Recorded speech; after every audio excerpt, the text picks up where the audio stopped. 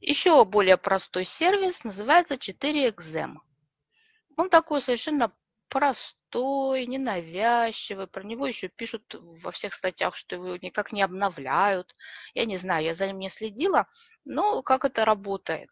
Через кнопочку «Начать работу» мы регистрируемся.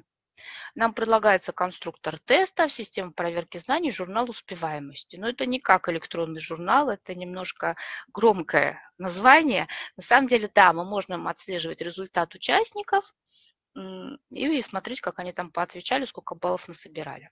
Вот это подразумевается под журналом успеваемости. Э, тоже все пошагово.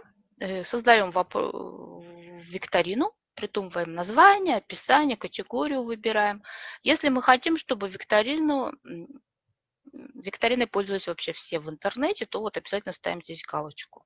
Вот. Иначе э, доступ будут иметь только зарегистрированные пользователи. Если вы даете ученикам, то им, бедняжникам, придется зарегистрироваться, чтобы ответить. Поэтому лучше все-таки галочку поставить. Ну и дальше вот так нажимаем кнопки «Далее», «Далее», «Далее» и так собираем наш конструктор. Вопрос. Вопросы здесь трех типов. Один правильный ответ, несколько и от, открытый, со свободной формой ответа. Ну, в это поле вопросы вписываем, внизу вписываем ответы, отмечаем правильные галочками или правильные. Сюда загружаем картинку. Ну и опять нажимаем кнопочку «Далее», переходим ко второму вопросу. Вот так один за другим мы их собираем. Все довольно несложно здесь. Далее. Э, как э, оценивается вообще работа? Здесь нету нигде, где количество баллов можно проставить. По умолчанию мы отметили, что какой ответ верный, и вот за каждый верный будет начисляться по одному баллу стандартно. Кроме того, сервис предложит ученикам за написать фамилию, имя перед тем, как ответить на вопрос. Я вам ссылочку дала, там по ссылочке, да, фамилия, имя требуется, любой символ вводить, ничего страшного там не будет от этого, но это дает возможность отследить результаты. Вот, например, я на свои собственные вопросы ответила, и тут же в разделе «Результаты» я увидела вот такой итог. Это вот в конце прохода викторины участник получит вот такую таблицу. Э, ну, свое имя он увидит, да, когда он прошел этот тест, сколько минут он проходил, э, сколько он ответил на вопросы, сколько правильно, ну и в процентах. Вот.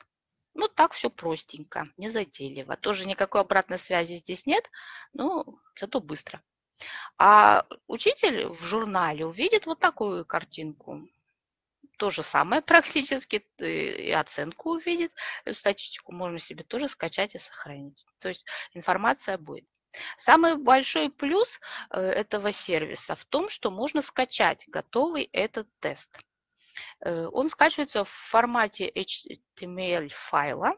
Его можно открывать без участия интернета. То есть вы можете на экране где-то через проектор э, открыть этот или ученикам раздать там на компьютере, если они за компьютерами сидят, или, допустим, у себя на экране открыть и отвечать на вопросы без участия интернета. Вот. Вот таким образом это все здесь работает. Сайт может быть продан, пока не продан, пока работает. Поэтому я о нем рассказываю. Как продадут, значит, будем искать новую замену. Но HTML-файл с вами останется на всю оставшуюся жизнь. Так что пользуйтесь возможностью. Э, дальше. По каждому ученику тоже можно просмотреть. Это тот самый журнал успеваемости, пожалуйста. Вот мы видим, как ответил ученик на каждый из вопросов. Вот. Здесь довольно все подробненько.